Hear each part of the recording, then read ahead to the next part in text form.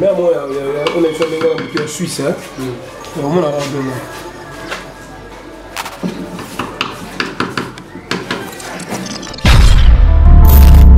to ya mokili donc soki osungi bana oyo osali religion ya solo pire et sans tâche devant dieu eza kobeta tolo na religion oyo ozosambela te en réalité religion ya solo eza kotala baorphelin mpe kotala baveve na bapasi na bango te mutu ye moko aboti mwana na age ya 7 ans atikeli mpe yo ondimi mais oui problème ezaka tozolite ke lobi mosala oyo naosala objectif majeur na ngai eza bana baye banzambe lobi bana bazala bakuluna te bazala bien éduqué omoni lelo toza na bakuluna lelo toza na bato ya ndenge na ndenge parce que bana bazozanga encadrement mais ntango bapesaki communiqué ezalaki ndenge wana te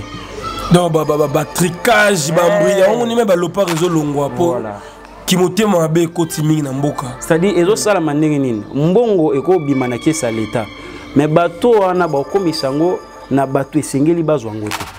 bato baza na bana bakokoma bakomona meme pas yango bango moko bakocreye baorganisation lokuta bakocreye bamikanda lokuta rapidement mpo bazwa mbongo wana bagere yango bango moko so bino bozosouffrir bozosouffrir eza mosala bapesa biso na hôpital lokola oyo namemi na maboko bebe oyo voilà bebe aza na aza na combien de mois akokisi sikoyo 5 mois 5 mois une fille ah. ozwaki yo na centre oyo nauti koloba mama bibi mama bibi ok centre wana nde ekolo nango lokola ayebi mosala tosalaka amekaki kobenga biso non toza na mwana moko ka ezali awa da délaissé voilà il fallait to recourir na la police tokei na la police tozwi mpe mikanda te toza na ye sikoyo tozwaki ye na un mois sikoyo toza na 5 mois asali 4 mois na biso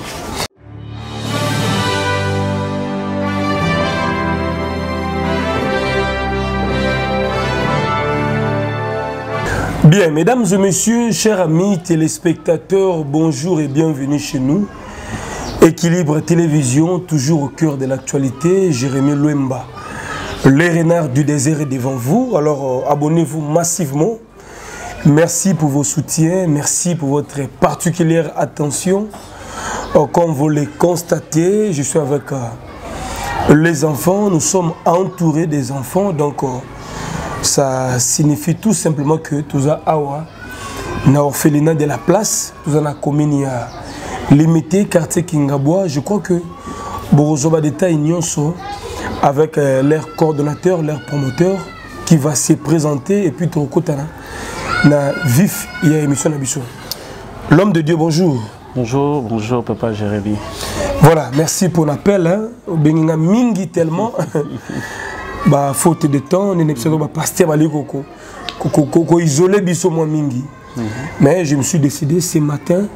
na banda awa pour que toyebana et puis euh, tosala émission d'abord boni santé oui santé ça va bien que kaka bana babelaki santé ça va na ngolo ya nzambe ça va bien que bana mosusu babelaki mais nzambe azobatela ça va alors bato baotala biso awa ah, tozali wapi epuis eza orphelina nini kombo nango nini okay. mm. awa ah, toza na kingabwa avenue eyala numero 3 toza na kati ya orphelinat les cris des faibles les cris des faibles voilà. ezali géré pa nani eza géré pa ya ngai le berger me touché la liamungu le berger me touché la Mm. Donc, il y a déjà visionnaire, promoteur, il y a, voilà. il y a orphelinat, l'écrit des faibles. Des faibles. Et bandit depuis quand le cri de faible tobandi yango depuis 2020 sikoyo toza na 2022 donc euh, depuis février 2020 kino lelo dans deux ans déjà ozogere bana et namoni ya des filles et des garçons mm -hmm. est ce que bana yango obi baotobela babeli nini bon ba malaria ba malaria typhoïde na oyo ya bebe abelaki vraiment malaria typhoïde maladi kaka tobelaka na kinshasa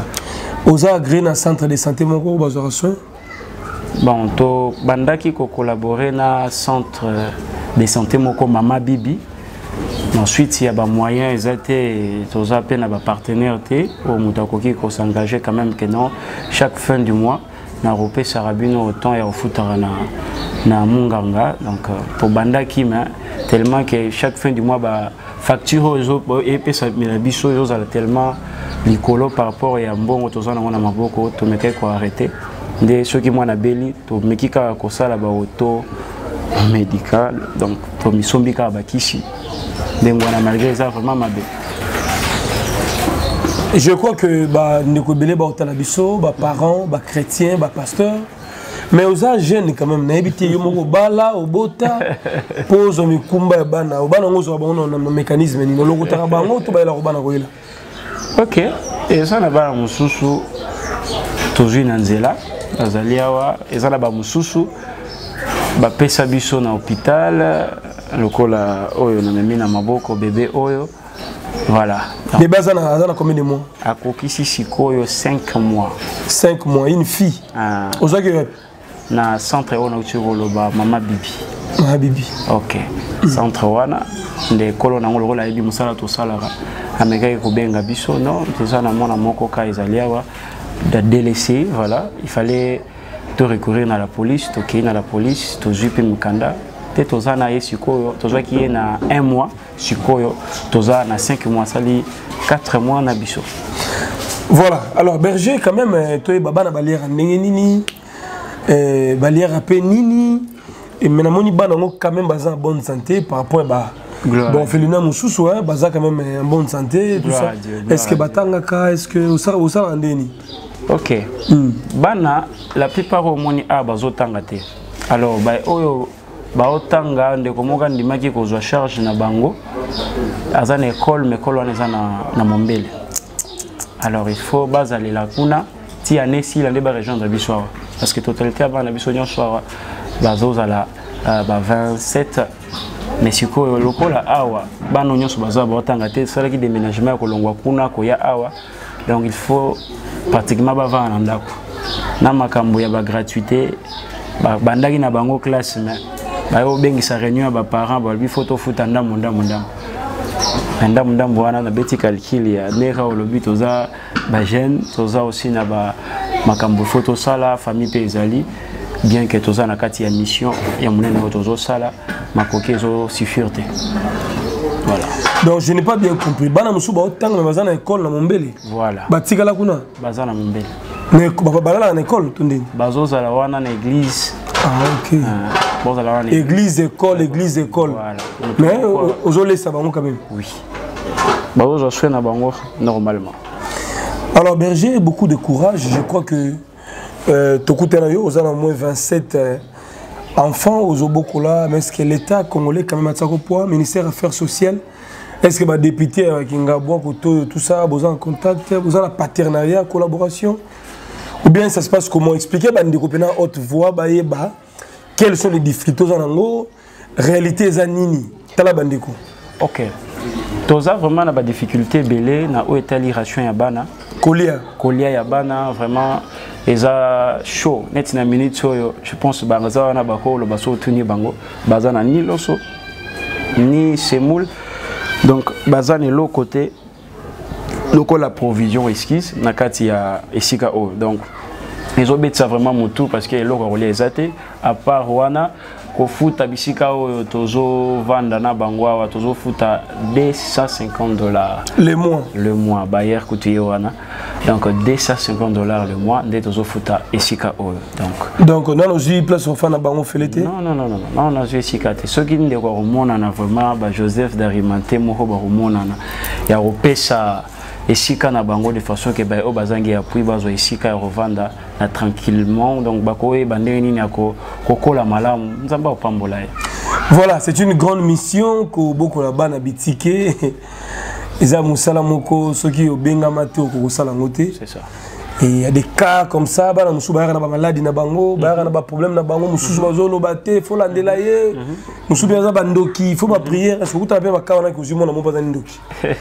il faut délivrance il faut makambo ebelebele ekutana mpe nango oui mosala oyo eza mosala oyo gere milimo milimo ya bato voilà eza facilité nde bato mosusu bakanisaka nde omoni lelo ba, ba, la plupart ya ba soi disant serviteur de dieu base lance mpe na baventure ya makambo oyo eh, oyo naza na ofelina ebele bazokosa na tv ofelina emonanaka te ezobota lokola mayebo donc euh, okolanda boye eloko eza te ma omoni mpe moto ya ndenge wana aza na basoutien de bazokabela ye euh. oui aza na bahaut frère mm. mais en réalité aza na bana te eloko te asoutenaka même pas bana bandeko mingi baeskoka bino na poto mpo bapaster toyembana ba tv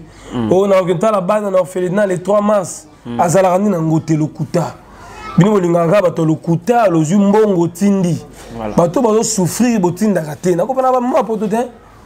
baza facile soki esiko moko abeti ye matolo abimisi mbangu na agence oketinda tala ofelina oyo eza koexiste yango oyo nga babengaka ngai mbala ebele naka na temps mokie me na bi nono efandaki nosala émission contribution na ngai yango oyo na publie émission na partage yango massivement mhm. bato bamona réalité ya mboka kolia soin de santé scolarisation tout ça ndeko jeune oyo un ami un frère andimi kobokola bana oyo alors oza mama oza papa ozali pasteur oza chrétien oza croyant ole ogaspille na kolata kaka to na nini tout ça je pense que so tomeki mpe koconstruire tokotongela bana kolesa kobokola bana ça peut encore euh, nous apporter la grâce le bonheur la prospérité donc euh, voilà l'adresse est là Eh, ndeko na ngai bana bazali me na moni baza mwa mingi te misusu badeplace hein? mm, mpo bacourse ka baclasse et tout ça mm-hmm. eh, alors nalambela bango baye moto alambelaka bango azali remoko mama mama julienne mama julienne hein? azali wana mm. mama mimi aussi mama julienne mbote mbote papa mm, tomoni ke boza na mama na mokumba neti bana yango boye par jour bolambaka 10 akoma baloso en tout cas koleka ntango mosusu 10 kona ba 12 13 soki mpe ezangi en tout cas eza mpenza mpasi hmm. neti na moment oyo en tout cas neti banda ntongo so otuni nano batya ata mikate na monoko te hmm. donc eza mpenza mpasi yango tozosenga lisungi boluka moya kosunga mpo neti papa paster azawa aza jeune aza na mosala te ye moko en tout cas ezosimba te mm. bandeko bosunga biso bosunga biso lobilobi bino mpe bokosungama eza bongo en tout cas eza bongo maman je crois que bino bolambaka boyebi secret ya cuisine donc par jour au moins 13 sakombi ya loso mpo bana balia y compris pondu to madesu to matembele euh, donc euh, kosala mélange wana eza facile te alors côté fufu bikolo ya masangu to semoule il faut ata ba 5 bikolo par jour 5 bikolo par jour ya semoule 4 3 bien 4 ya ya, ya fufu en tout cas osali mélange osali mélange mpo baluka moye balia azwa mwa mwa makasi mhm. soki bongo te antuka vraimen eza mpasi so baparent babwaka bango bayaka babetaka mpe batura eloko te tomonaka ata moto moko te so babwaki mwana basundoli ye pour de bon donc bake bake kaka bakei bake kaka mhm. na mawa nzambe antuka bambe kosoutenir biso basoutenir mhm. biso voilà bilamba mpe akolata bana baza ebele oza na t-shirt oza na bapolo bachemise bapantalon bakilote eh, oza na meme badra mpo na bana bafinika bajaquette elanga ezoya bientôt donc euh, okosala koli okobenga mosala nzambe okobenga biso mhm. otindi ekokoma Hmm. donc euh, toza na kingabo awa avenue eyala numéro 3 numéro 3 na commune ya limete hmm. numéro ya pasteur eza affiché na ba écran na bino et puis akodikte yango lisusu na suka mhm. pour une meilleure audition bandeko boza ebele à travers le monde entier hmm. équilibre tv toyelaka bino réalité des bonnes choses je crois que euh, tozali euh, na esengo mama alors euh, Et ba fille baza combien Ah baza combien baza belé Ba fille bazali 1 2 Bon on a grand sœur moko ya mukolo na bébé wana nde mais ba garçon baza penza belé. Ba mingi nga ba garçon. Ba mingi ba garçon ba fille baza nke par rapport ya, ya basi nalingaki kuna précise eloko moko olobaki mm. par rapport ya l'état nomoni toleki yango mwa mbangu mm. souvent bato baosala baventure nde bazozwala na, na bénéfice mpe na soutien na mboka oyo parce que toza na mboka moko oyo ministère ya leta il faut esunga misala lokola oyo affaire sociale affaire sociale il faut esunga mosala lokola oyo mm. mais nini ezosalama dernièrement bakotaki kobenga biso balobi eh, ezalaki na rendez-vous moko ifale basangisa baorganisation nyonso tout bato nyonso basalaka makambo oyo etali sociale bakozala na rendez-vous na chef de l'État tokendaki bato nyonso baza en ordre na mikanda tout consort tokeyi tellement toza en ordre toza ta na mokanda moko te ezozanga biso na oyo etali l'État to remplir makambo nyonso to mais komi kuna ekomi makambo ya fo bofina 50 dollars 100 dollars après kuna bokende kopesa esu lisusu mais ntango bapesaki communiqué ezalaki ndenge wana te donc batricage bambri yango nini me balopaka ezolongwa mpo kimotema mabe ekoti mingi na mboka c'est-à-dire ezosalama ndenge nini mbongo ekobima na kesa leta mais bato wana bakokomisa yango na bato esengeli bazwa yango te bato baza na bana bakokoma bakomona meme pas yango bango moko bakocreye baorganisation ya lokuta bakocreye bamikanda ya lokuta rapidement mpo bazwa mbongo wana bagere yango bango moko to bino bozo souffrir bozo souffrir mais eza musala leta bozo souffrir eza musala oyo leta esengeli a soutenir leta chaque fin du mois balobaka ke noko bokendaka kozwa 3 saki bokenda kozwa 4 saki bokozwaka 5 ya loso bana baliaka mais leta akipaka biso te eloko te mais topesa mbongo ya mikanda nyonso tout oza en ordre oza en ordre légalement reconnu voilà donc ministère ya justice ayebi affaire sociale ayebi donc toza en ordre mais soutien eyaka te eza te ata ya lokuta mais voilà donc euh, eza babiloko fo interpelle baautorité ya mboka même ville ya kinshasa boko na mbongo eh, bosali bosali borecense baorphelina oyo ezali crédible bozofinansaka ata baseke basemoule bamiliki tout ça bana bavivre mpe en paix parce que là ça ne va pas euh, ndeko na nga dicte bandeko numéro ya téléphone euh, à haute voix bayoka yango banote yango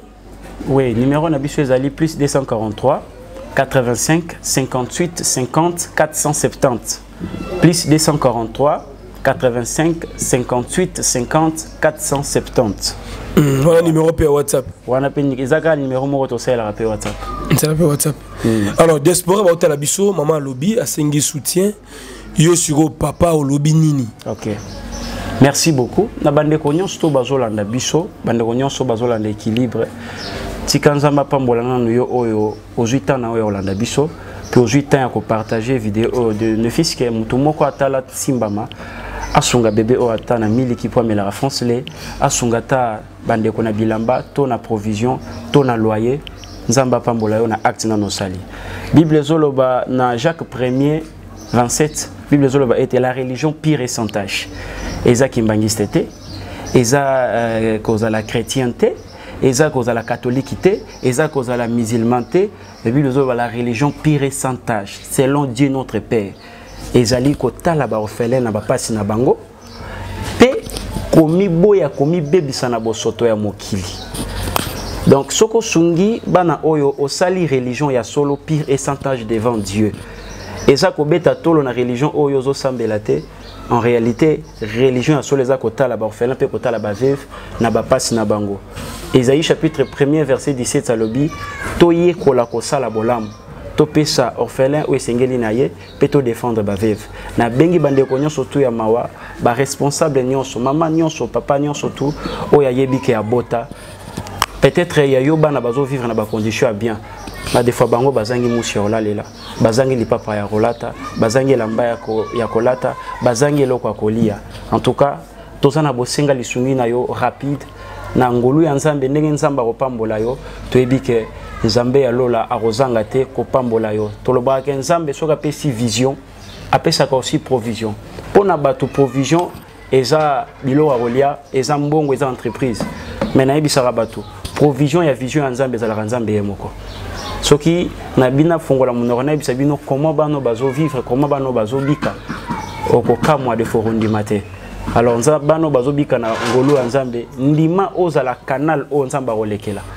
mpo azwa charge na ye parce que oyo eza charge ya nzambe na yo na nga toza juste bainstrument oyo nzambe akondema alekela mpo azwa charge na ye nzambe apambola bino bino nyonso tu oyo bokosala quelque chose voilà bandeko baza ebele mama sema mayasi femme légitime agence mayasi forza italia mama claudine luyeye depuis kinshasa mama clotilde bondo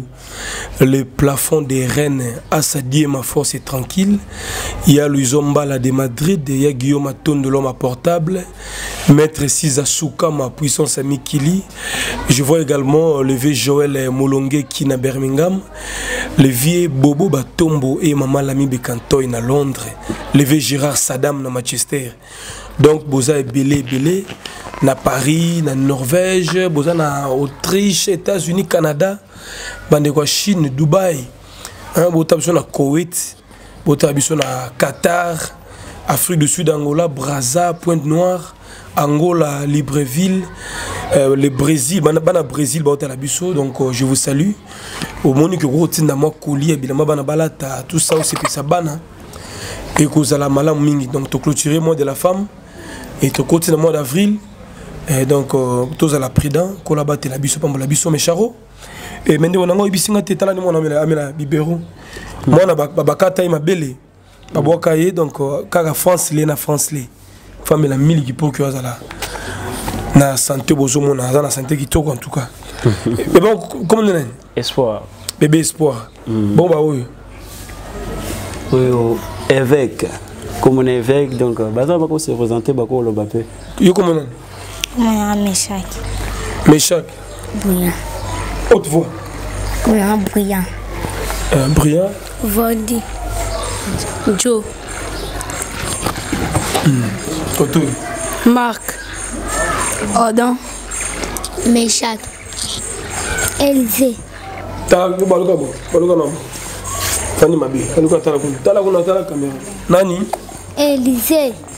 Elise bebe kombo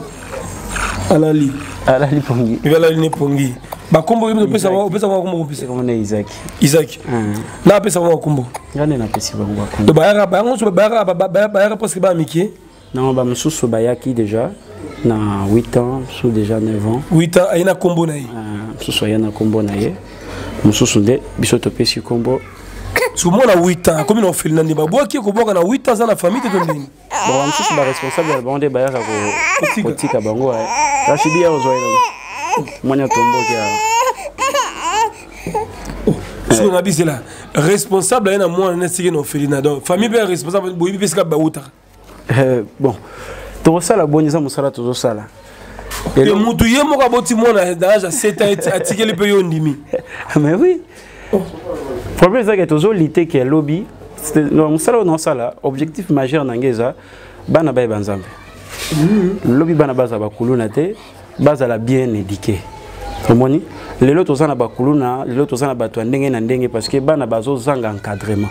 awa eza centre d'encadrement donc toza komeka mpe koencadre bana bayeba makambo ya nzambe batanga balia ba mais oyo eza très important bayeba nzambe bayeba nzambe koevite bazala bashege tout ça yango moi même so pareil na mwana otali kaka mwana yo récupéré no mwana oyo éduqué autrement ndoki ou pas tozozwa tozobongisa seke yo moko oza grand maître mpona moni mpo otika bandefu banini mais oui toza na retraite mhm. ah, donc ezala ndoki tokutana na baka wana tokozwa temps ya kolekisa ye na kirdam bango nyonso baza motu na identité spirituelle ya moko na moko toyebi oyo aza bien te tokolekisa ye na délivrance e akomi bien mpe tosangisi ye na baninga voilà merci à la grande équipe technique euh, je crois que nous gagnons le temps euh, l'essentiel est là tobanda kozongaka dans, dans peu de temps si les besoins se présentent mm -hmm. tokozongaka totalaka santé ya bana et tout mm -hmm. euh, tokomi na suka je crois que je vous remercie merci beaucoup maman hein? merci papa na ngai mm. olobi nasepeli makasi vraiment nasepeli makasi baluka moye basoutenir biso mm. en tout cas bakoki mpenza eza te basoutenir biso donc nzambe mpenza asimba motema ya moko na moko akitisa mawa na ye likolo na bana oyo mm. bapatron baono basociété esika koyede yango toshite ndeko na ngai tosilisi ah, tosilisi déjà donc mm. nzambe apambola bandeko nyonso balandi biso en tout cas loboko ya nzambe ezala likolo ya yo nyonso oyo adefo oza na volonté moza na makoki te yes. mais oza na makoki te ya mbongo moza na makoki ya kopartage na nzela ya partage na yo adefo moto moko akotutama akosala quelque chose mpo na isaac mpo na espoir mpo na mwana moko azali awa ndeko moko alobi te ngai nakotangisa deux personnes olobi te ngai nakozwa charge ya kofuta loyer ndeko moko alobi te ngai chaque fin du mois natielaka bino provision nzambe ya lola akozanga te mpo na kopambola mosala ya maboko na ye loyer combien loyer 250 dollars par mois par mois y compris courant na mai Mpe courant na mai. Voilà, merci ndeko. Bye bye. Merci beaucoup. Sacerdoce erata raté, jamais erata. Zamba pambola bino, eza topesi bino kaka message, ka yum tozo landa. Dieu a permis tozala a na France na kati ya Saint-Denis. Makambo Nzambe azosala wana Saint-Denis place toza na siège eza makambo ebele peut-être ozalaki informe te. bible elobi il est le même hier aujourd'hui et éternellement nazondima nzambe wana oyo asalaka ezambe wana bi yaka a na saint denis e makambo ebele ezosalama zwa na l'adresse peut-être oyebaki te zwa adresse 9 rue de la poterie na kati ya saint denis c'est facile soki oya na gare ya saint denis gare ya saint denis ozwi tram t8 okiti na deuxième arrêt delone belleville c'est là où je suis mercredi service sacerdotal oza na problème oyo ezotungisa ondimaka loi prophétique ondimaka nzambe abikisaka meka na nzambe na ngai mercredi toza wa 14 heures service sacerdotal prophétique ebandi dimanche à partir ya 15 heures adoration et louange et eza mpe service prophétique donc partout bisika ozali kovanda ndako te yo oza invité na ngai dimanche oyo yaka nao dimanche oyo tokumisa nzambe ensemble wana likambo oyo ozoyeba te nasala nini viens je connais ce dieu là il est capable de changer tout au nom de jésus ya bomoni baimage ya mangengenge toza na mangengenge la loi surnaturelle tozokware na nzambe wana kozanga te déjà mercredi oyo dimanche toza awa na saint denis zwa nimero yango wana 07 66 27 40 02 numéro yango wana kanda ozolanda benga c'est votre frère père conde israël sacerdoce erata rate jamais rata toza présent na saint denis donc na saint denis makambo nene ezosalama nzambe apambola naza na message ya mokuse oyo tozolanda koza pete ya mokuse message yango eza boye nzambe ayebisi nga nasambela mpo na ba aine de la famille ya mibale nasambela mpona bamaladi oyo ezosila te ya misato nasambela mpona bablocage marie de nuit femme de nuit force nyonso nzambe ape nga schéma c'est simple esila adresse napesi yo zosko numero 07 66 27 40 02 ntango ozotala okanisa eza azar ya azar te meka na nzambe na nga nalobi sacerdoce erataka te meka nzambe na nga apesi nga shema ekani ndenge ozolanda miracle ya nzambe esalamela yo bengaka kaka na suka tozali awa mercredi 14h séance akoyamba ebandi dimanche 15h yaka na famille na yo nzambe apambola yo c'est votre frère père conde israël jamais rata merci